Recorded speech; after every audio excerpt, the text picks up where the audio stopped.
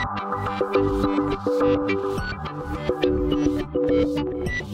and welcome to my playhouse and today I'm gonna see if I can finish my 3D printer. I've actually had it up and kind of running but uh, I never finished it. All the wires are hanging out everywhere because I wanted to see it in action and I, I might just use the last half an hour to put it together nicely. I've had to move it down in the basement here because uh, the upstairs was no longer available for having a 3D printer sitting permanently on the table. So, um, I'm gonna be wrapping up the printer. Here is the printer and as you can see over here the wires are, mm, well, just hanging out of it and I have literally not touched it since I did the last video. The stuff that I was doing in that video is still on the on the bed. I might just remove that and try again. But first I'm gonna take care of all these cables and try and get that. And I kind of moved it a little bit quick, so I just wrapped all the wires around it and the filler is right there. I'm gonna get rid of that. Oh, not get rid of, but move somewhere else. Here it is, a little bit more unwrapped. And let's go to the sector section.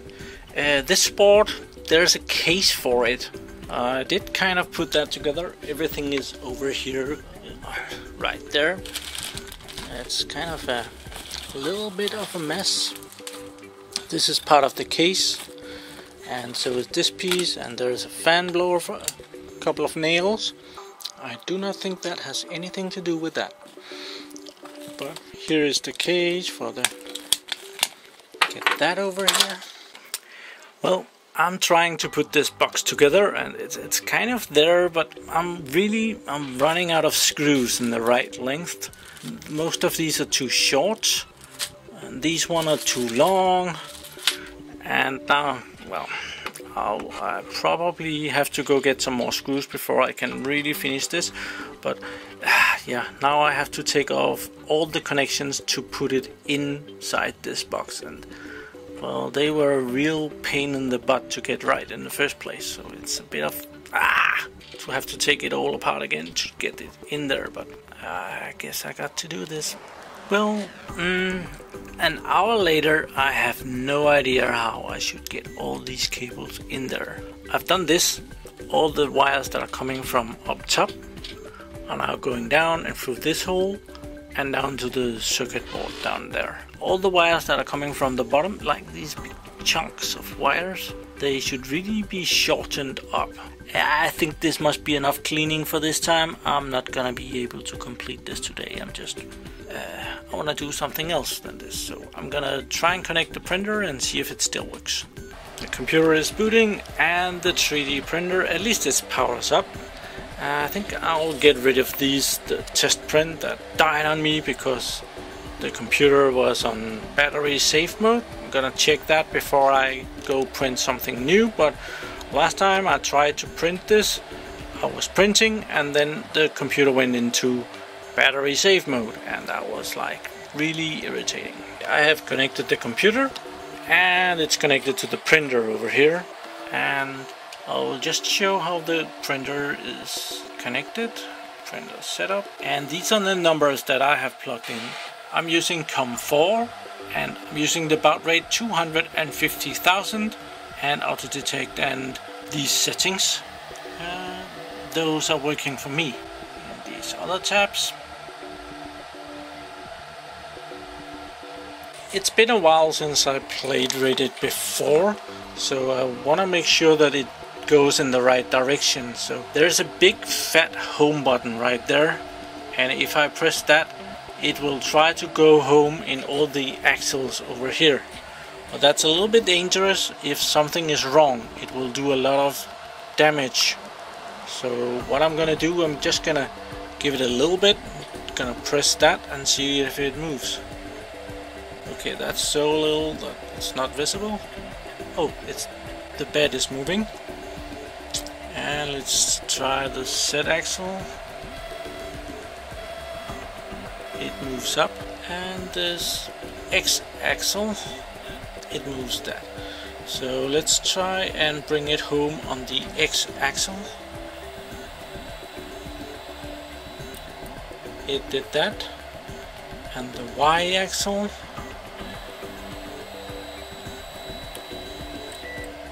It did that as well. And the Z axle. I'm pressing these different small houses up here. X axle, the Y axle and Z axle. So we're gonna move it on the Z axle and it moves down and it hits a switch inside and it goes up and down a little bit. So everything looks good. The bed here might be out of alignment too, so I'm gonna move that a bit around here. And as far as I know, a piece of paper should be able to slide under there. So we're gonna move it a little around, see if, if that's the case everywhere. Yeah. Uh, just gonna tighten that a little bit.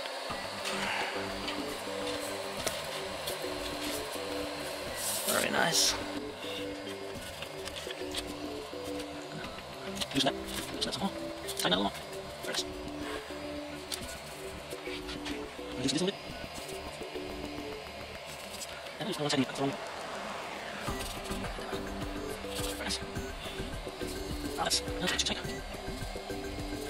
I think that's good.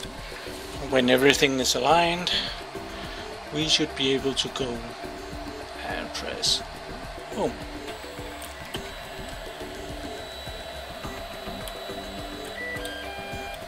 And it's ready for print job. Okay, someone was telling me in the comments that it would be a good idea to tell Slicer in here to use filaments of 1.75 millimeters and very correctly it was set to 3 millimeters so I just changed that. So hopefully this is gonna be a little bit better. I'm gonna be curious on seeing that so I'm gonna try that. Okay I have a colleague at work and he wanted me to do a project so I'm gonna load that. It's some kind of a cover for an electronics program that he's doing. Uh, this is it some Raspberry Pi thingy I think. And it's here and we're gonna go over to slicer and slice. And it's gonna be working up here. I don't think this is gonna be taking too long. It didn't take long before. There it is. It sliced it. Manual control. Oh I haven't even connected to the printer yet. Connected slicer G code is there heat it up, make this a little bit bigger so we can see everything. There it is. And we can heat the print bed as well. This always takes a while, so I want it to be nice and hot before it starts. It's probably gonna take a while before it starts dripping here. It's about ready at the right temperature. This is at 210 degrees. And over here the temperature of the bed is about 55 56 degrees. And I can see the, the plastic is a bit liquid in here. Can you see that? Yeah you can just see the, the yellow tip of it. So let's start the job. Do that up here. Run job. See what happens turn on this fan as well power it down a little bit. Now it's heating the extruder again. It let it cool down a little bit and then now it's heating it, which is kind of weird, but well, it did that. Estimated time for this job, 42 minutes, or that's a long time. And here it starts. I wonder if it's doing anything. Doesn't look that good. Oh. oh. Feels like it's starting to work.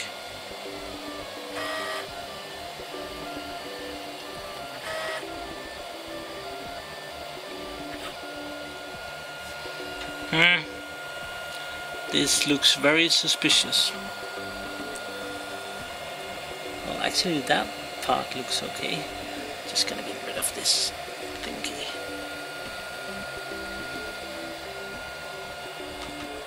Oh, let's see how far it gets.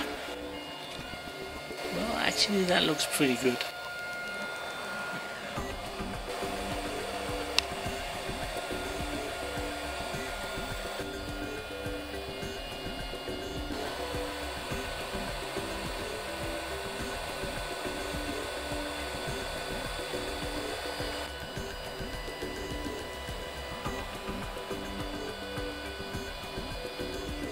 It's printing very well right now but it it still looks very bad. This is not gonna be good. It's as if the plastic is not hot enough. So I think I'll have to I'll have to make the plastic hotter. I'll probably have to tell the slicer program how hot the plastic should be. But well I'm gonna let this finish and try again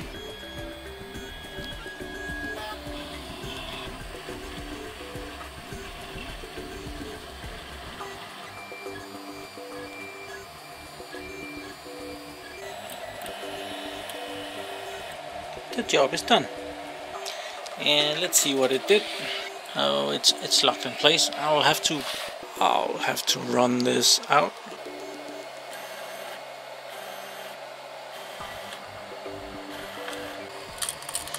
This is absolutely useless. Once again uh, the plastic it hasn't it hasn't melted correctly.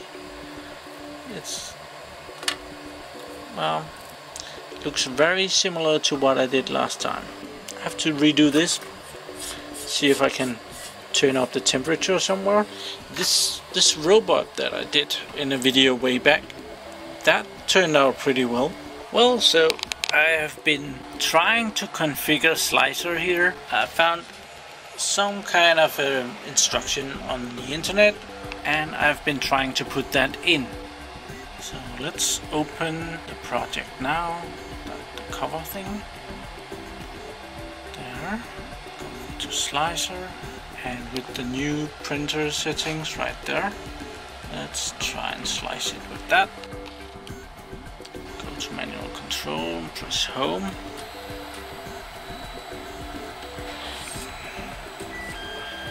With that.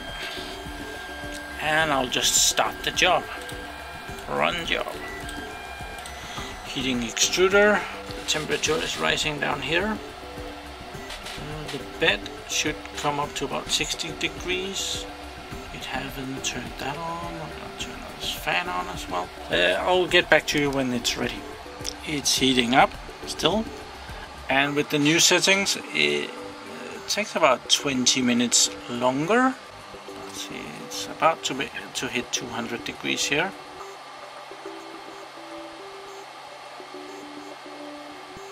200 there. Does this heat up? It didn't heat up the bed. Mm, I'm kind of disappointed about that. Oh, it's clogged up. Let's see if I can get rid of this.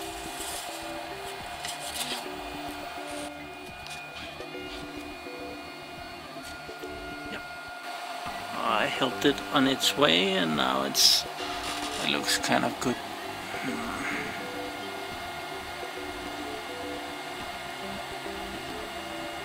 But the bed didn't heat up. Yeah, this is not gonna work. It's already fucking up. Yep. Gonna cancel that.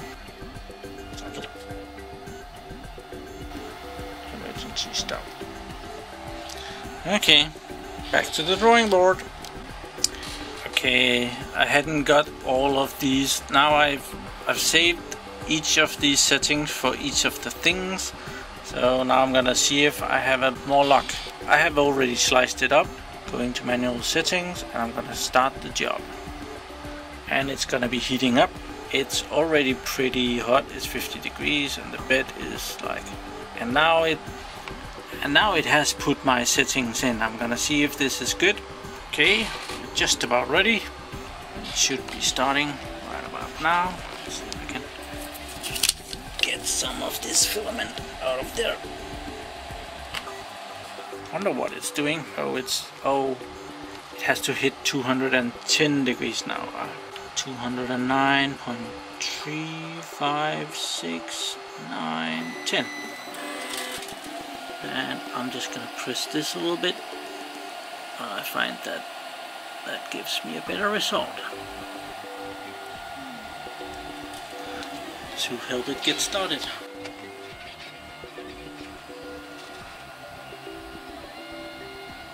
This looks pretty good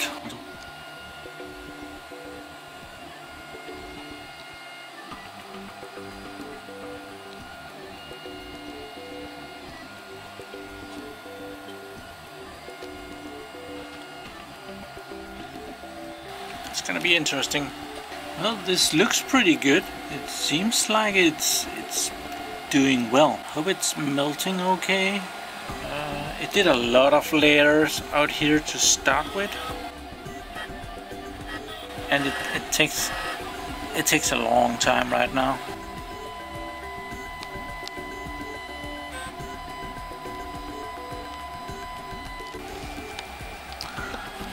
The printer is working it looks rather good. I have a flashlight here so that it's easier to see what it's doing. Maybe it's easier. This looks a lot better than the other one, that's for sure. There is still 23 minutes left on the project, so it's taking considerably longer than the other one.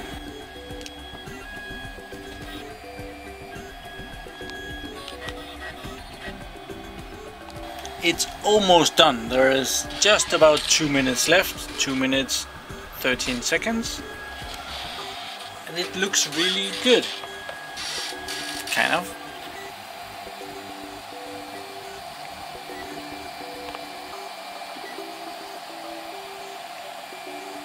It's gonna be really interesting to see if this is more one piece than than this that is just frets. Okay, we are on the last five seconds.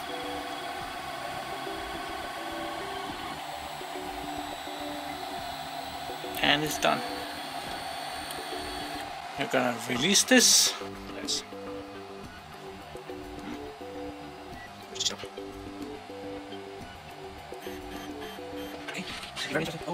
it's definitely more solid than the other ones.